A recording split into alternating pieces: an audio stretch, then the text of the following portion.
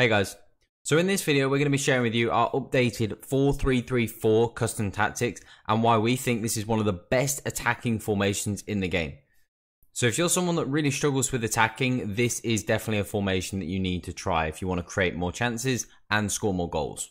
So as always, show your support, please hit the like button, subscribe, but most importantly hit the notifications bell so that you know exactly when we release new content. So the 4-3-3-4 is a great formation to attack in. We think it's one of the best in the game. It's just such a fun attacking forward-thinking formation, especially especially if you play it in the right way with the tactics and instructions we've got set up. So like we said, if you're someone that struggles to score goals, create chances, this is a formation you need to try.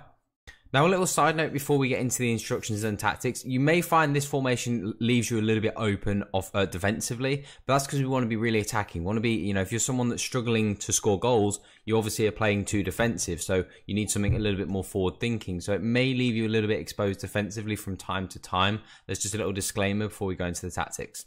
So as you can see with the tactics, this is what we use. And we go for balanced on the defensive style, of course. We don't recommend playing on a press ever.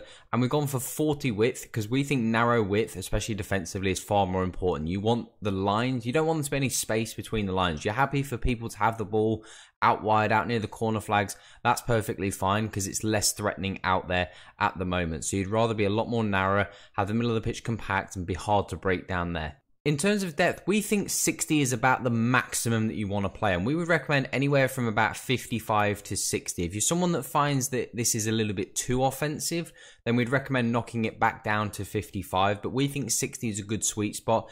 If you're someone that's very confident in possession, you don't give up the ball a lot, you you have like high possession, high pass accuracy, you can get away with 60. If you're someone that does give the ball away a lot and maybe is a little bit too eager with your passing, then you need to play a little bit deeper because if you have lots of the ball, it doesn't really matter if your depth is high or low or what it is, but if you're someone that's not great, you give the ball away a lot because you're going to get countered loads if you're just giving the ball away all the time. So it's better off being slightly deeper. In terms of the build up play, of course, we like on balance. We think this is much better. Again, this is really more suited to people that are very good at passing because you don't need the AI to do as much of the work for you. But the direct passing makes this formation what it is. You know, obviously everybody's in a more attacking position anyway. Obviously, wingers, striker, cam, two midfielders, not DMs like a lot of formations have. It's just very on the front foot. So you have lots of players you know, the, the, two midfielders, the cam, the strikers, the wings, all six of those players make runs in behind. And that's why getting countered can happen in this formation because all six of those players running behind. But that's what makes it so easy to attack in because you have so many options. You just have so many players running forwards and it's just impossible not to pick out an open body and an open player. So it's just such a fun formation to attack in. And then offensive width, we've gone for 65. You do need to obviously utilize the width in this formation. Obviously, you're going to have speedy wingers, so you need to be using using them, you know, both horizontally and vertically. You need to be able to stretch the pitch in both directions, in behind and on out wide. So it's eh, you know it's recommended that around 65. You don't want to go super narrow, but you can't go too wide because then it kind of negates having the defensive width at 40. You know you want to be obviously tough to break down when you're out of possession as well. And then players in the box, we've got on five because we want the instructions to really dictate who goes where, and corners on three and free kicks on one. Although these three are more preference based rather than must do. So now before we continue, if you want us to make more videos like this, then make sure you hit the thumbs up button and make sure you comment below right now with any other thoughts and questions and videos you'd like to see going forwards. So let's get into the instructions. So now, of course, as we go into the instructions, keeper as always is going to be on sweep keeper, and the two centre backs, of course, are going to be on stay back while attacking, as well as the fullbacks. These guys need to be on stay back while attacking because that front six is going to be going forwards and doing most of your attacking. It's just non-negotiable. You you have to have the whole back four staying back, um, and obviously you don't want fullbacks getting out of position. You need to make sure you, you're tracking back with your midfielders. That is so important. I can't stress that enough in this formation. You really need to track back with your midfielders, track back with everybody. Don't touch your defenders. You can't afford to drag them out of position. Otherwise, you'll you'll start conceding goals like crazy in terms of those two midfielders, obviously uh, the Goretzka and Valverde, both of them need to on balanced attack and stay on edge of the box. The balanced attack is because obviously they're going to be on direct passing, so they're going to ignore if you put them on stay back while attacking, and they're going to make runs forward. So you may as well have them on balanced attacking, so they have a better starting position.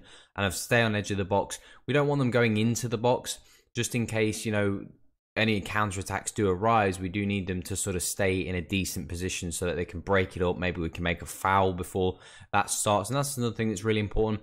Just just be aware to make tactical fouls, obviously in transition, just to stop any counterattacks if you feel like you're going to be exposed at the back. In terms of that central cam, we just need them on getting to the box. It's really important. I actually found that when I was playing in this, your central cam gets most of your goals and assists. So probably your best player needs to play in this position because generally they're the one that seems to be in the position to score an assist all the time. So it's really important your best player sits in this position.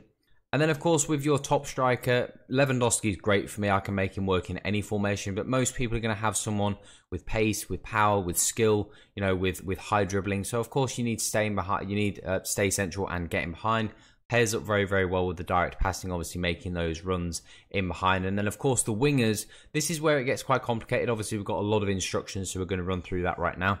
Getting to the box is pretty self-explanatory. You need them bodies getting into the box, especially the wingers. So when one winger's on the ball, other one wants to be getting in there just for any scraps that come by, deep cross to the back post, you know, drilled cross to the back post, or just any scraps that fall his way. Of course, the getting behind is super useful as well. And we've gone for balance width again because I don't want them on anything else. I want them to be able to play both roles. I need them to stay out wide sometimes. So, so then it forces your opponent to use his fullback and come out and press you, but then sometimes you want him to drift inside when obviously Goretzka's on the ball, you're going to slide a through ball in, let's say on the right hand side between the right back and the right centre back, you need Dembele in there to be able to obviously get on the end of those passes. So obviously utilize that speed in behind and the direct passing. But we're going to come back on defense, and this is just so that you have a little bit more protection when you're out of the ball. Obviously, it's quite an attacking formation. Uh, it does mean that you're going to have to have really good super subs. You need, especially in the midfield and especially on the wings, you need to have good subs because these guys are going to get knackered because of the amount of running they have to do between both boxes. Obviously, the midfield is running from attacking to defending, and the, and the wingers running from obviously at the top end of the pitch, running in behind, and then running all the way back to get on the comeback on defense. So you need to have good super subs.